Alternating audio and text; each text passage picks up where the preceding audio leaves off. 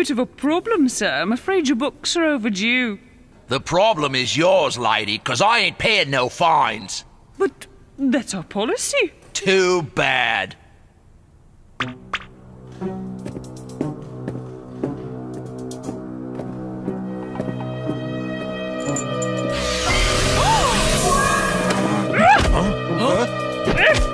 Hey, put me down!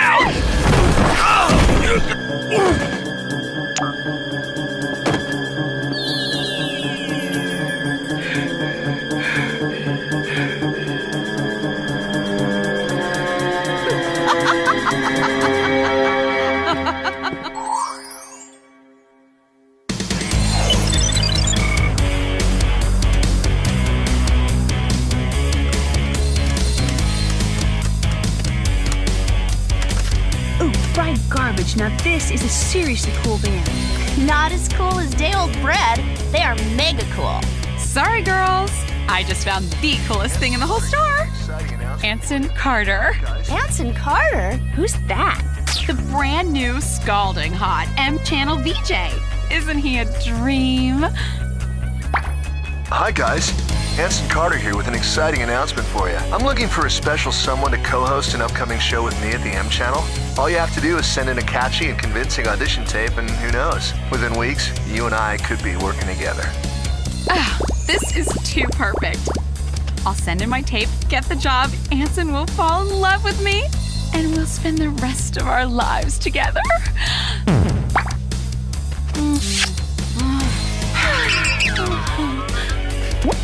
Okay, Clover, I totally support free expression and all, but you are in public. I'm going home right now to work on my tape.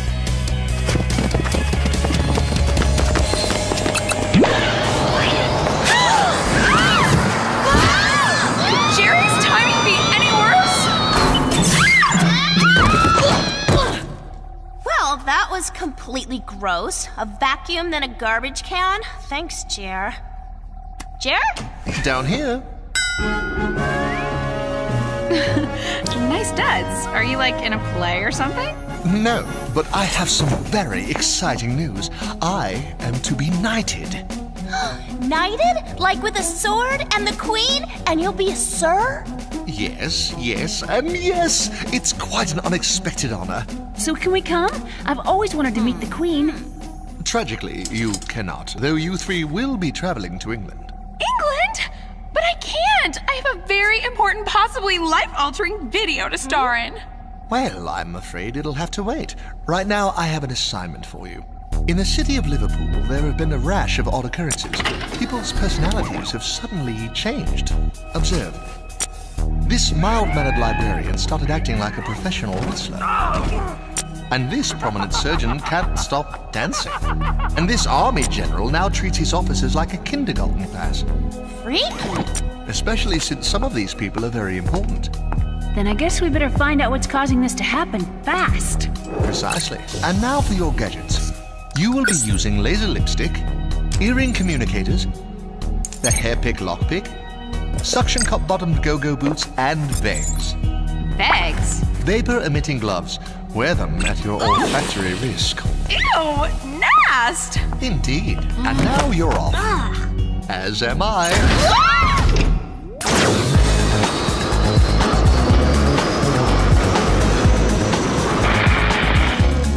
Anson, remember, my name is Clover, and your search is over. You found your M Channel guest gal. I'm hipper than hip, hopper than hop. I walk the walk, and baby, I talk the talk. Mwah. That was awesome, Clover. Thanks. Now all I have to do is send in the tape and keep my fingers crossed. Good, because right now it's spy time.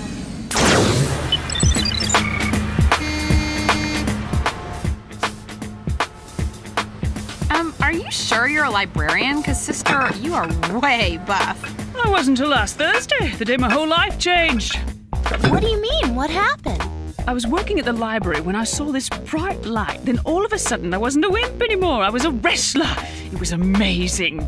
I'm afraid I don't follow. The only thing I lifted before was books and my afternoon cup of tea. Now I can bench 150. I have a match tomorrow night against some bloke from Kensington. Want to come? Sounds like a blast, but unfortunately, we'll have to take a rain check. Suit yourself. Now, if you'll excuse me, I have to go work on my abs.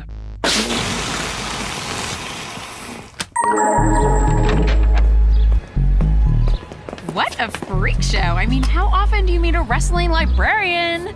Yeah, about as often as you meet a high school girl involved in international espionage. Hmm? Okay, bad example. Hey, check it out. Pro wrestler Birmingham Brawler quits. Wants simpler, quieter life. He probably got dropped on his head one too many times. Huh? So? Either that or his personality's changed. What are you saying, Sammy? That this is way too weird to be a coincidence.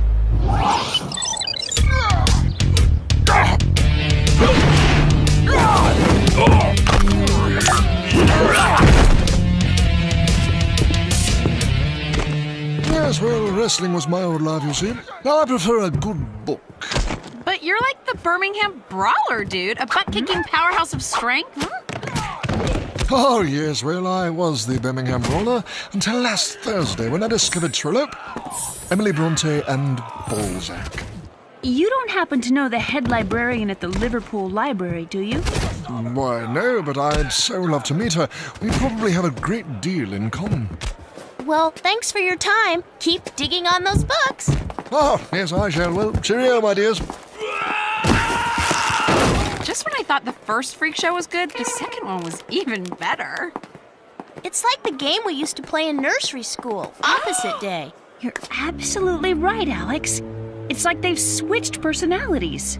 But how is that possible? Especially since they don't even know each other. I'm not sure, but we're gonna find out.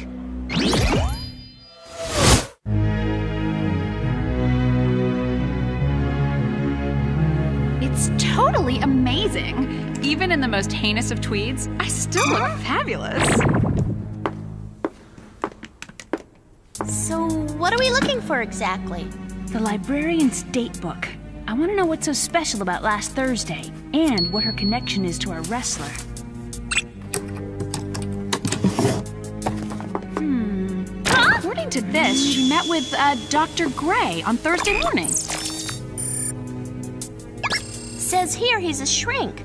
He treats doctors, generals, teachers, and even celebrities like the Birmingham Brawler. Bingo! We have our connection. It's time to pay the good doctor a visit.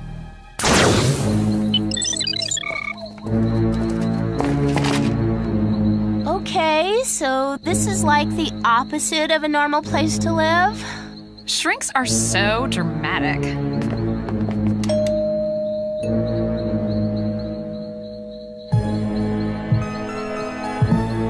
Like nobody's home. I say we let ourselves in.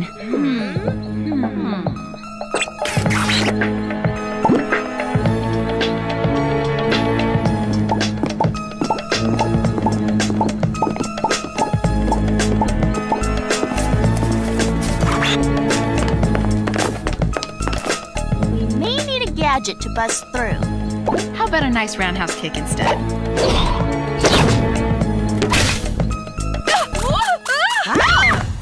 These boots are multifunctional.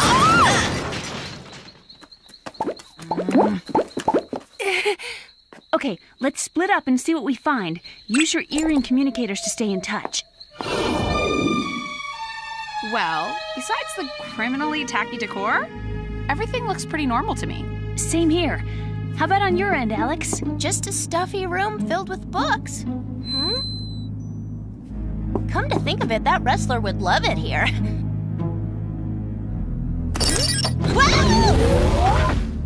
Alex? Alex, are you okay? She's not answering. Let's find her. Whoa! Sammy? Can you hear me? Hello? Oh, this is so not good.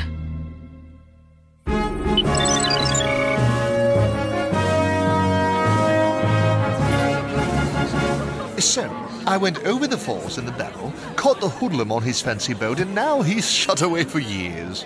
Oh my, what a story! How thrilling! Oh, excuse me, Your Majesty. I'll be just a moment. Hello. Jer, it's Clover, and I have a big time problem. Alex and Sam just disappeared. I need you to help me ASAP. yes, but I'm afraid that might not be possible just this instant. I... Not possible! Hello! If you don't get here quick, I may be the next to vanish, and then it's goodbye M Channel, goodbye Anson, and goodbye Perfect Life. Calm down. I have your coordinates. I'll be there as soon as I can. Everything all right? Oh, yes, right as rain. Say, do you mind pointing me in the direction of the loop?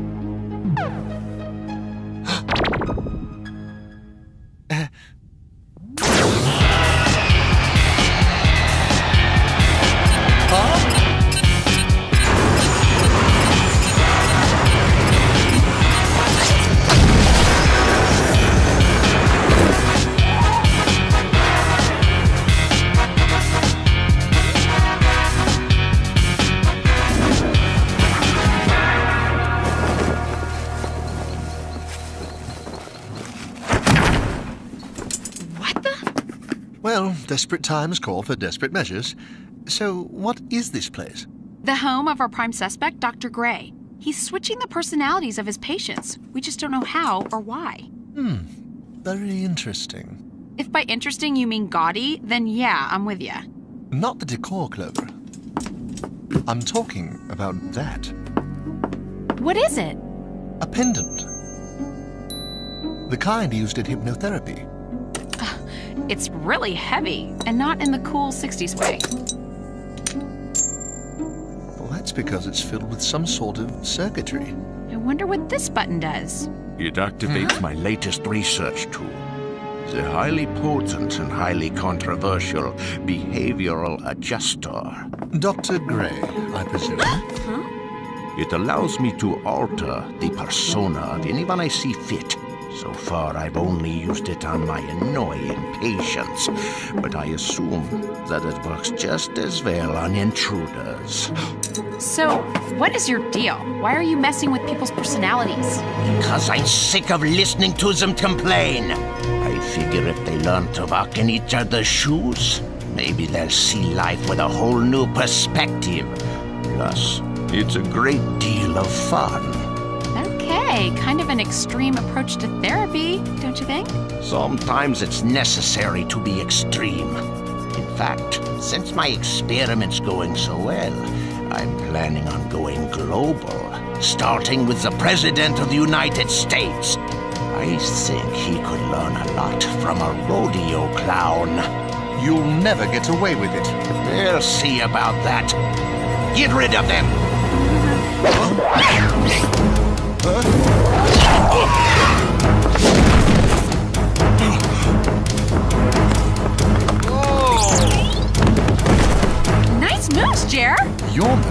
quite skillful as well. Fine, then. I guess I'll just have to dispose of you myself.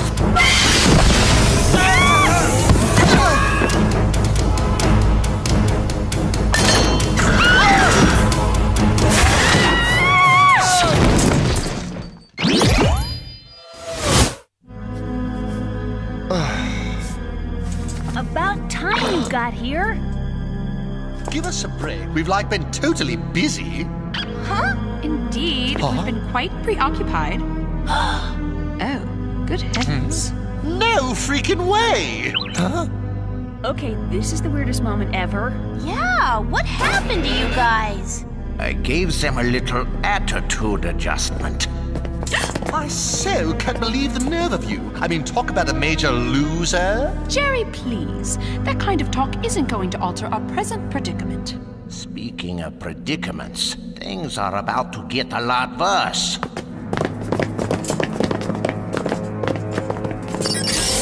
Oh. That's only the half of it.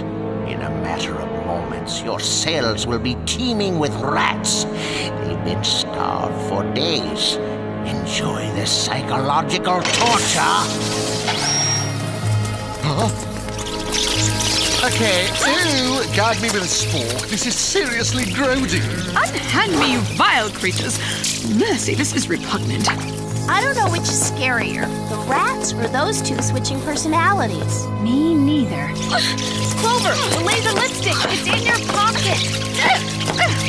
Brilliant thinking, Samantha.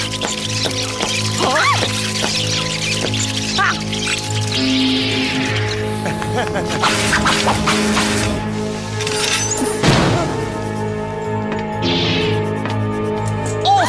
Now it's your turn, girlfriend.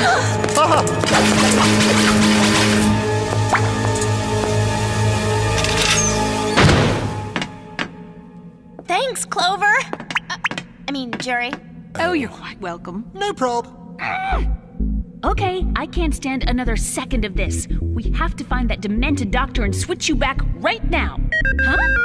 Oh, for the love of Pete. Who could be phoning at a time like this? Yes, hello? Ah, delightful. I absolutely will. See you then. Oh, it seems I got that Anson Carter gig. They've requested my presence in Los Angeles immediately.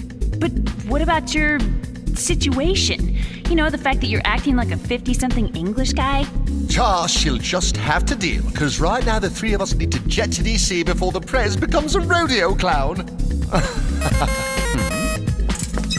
Jer here. Oh no, I like totally forgot. I'll be there in a jiff. Later. Someone from the palace. It's nighting time. I guess that just leaves me and you. Huh?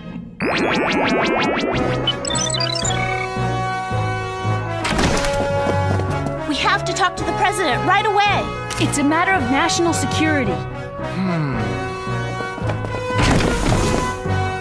Sorry to barge in on you like this, sir, but it's an emergency. Yeah, an evil shrink's about to turn you into a rodeo clown. Did you say a rodeo clown? Well, this is just plumb crazy. Trust me, crazy doesn't even begin to describe this guy. Good evening, Mr. President. It's time for your counseling session. What in old Glory's name are those?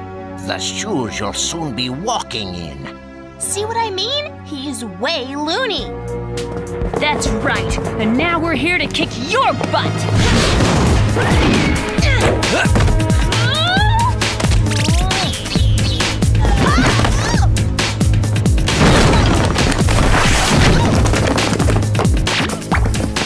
I forgot to mention switched my faithful assistants with some karate black belts on the way here. So my butt kicking probably is not going to happen. Now let's get what we came for, boys.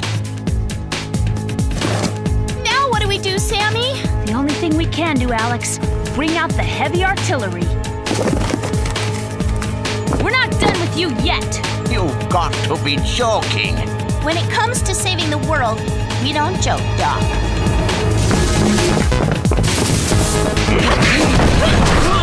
Sweet dreams. Awesome work, Sammy. Now let's put the stink to the shrink. I have other plans for him, Alex. Hey, I'm really psyched you're here, Clover. Your tape was killer.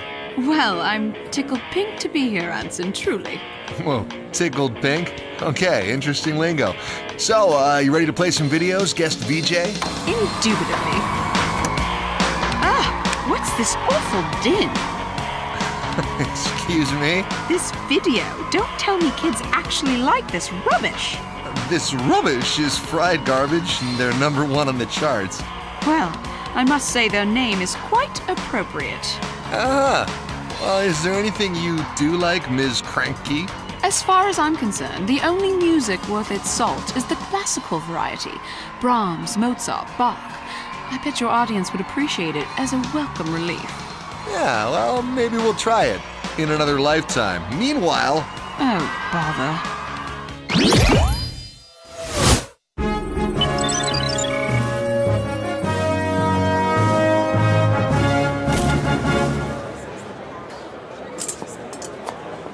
Majesty. Like, I'm totally sorry I'm late. That's quite all right, Jerry. So, like, thanks again for inviting me to hang at your killer digs. I'm royally blown away. It's our pleasure. Well, thanks to both of you then. And major props on deciding to make me a knight. It's like such the unexpected treat. Even better than a shoe sale at the mall. Are you feeling okay, Mr. Lewis? Okay. I'm downright stoked, Queenie. Now let's get this party started. Oopsie. You'll never get away with this. Wanna bet? I guess we better go help the others. Good idea. And in the meantime, my men'll take care of this clown.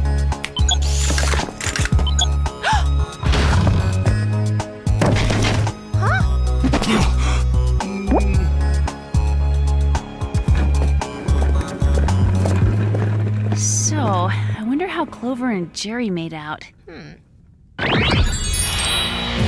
As far as I'm concerned, the only music worth its salt is the classical variety. Brahms, Mozart. I can't believe those words actually came out of my mouth. It's so embarrassing. What is embarrassing is my behavior at the palace. Not only does the queen now despise me, but my chances of ever becoming a knight are utterly nil. Oh, that's too bad, Jer. Hmm. Hello? Yeah, that's me. No way! Yeah, totally. Okay, bye. You're so not gonna believe this. Anson, the love of my life, has never gotten as many calls about a guest VJ.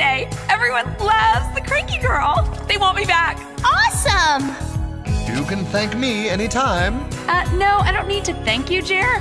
I need to switch personalities with you. Where's that behavioral adjuster thingy? Oh no, no, not in a million years. Come on, Jer. I said no. But Jer, this is important. Please.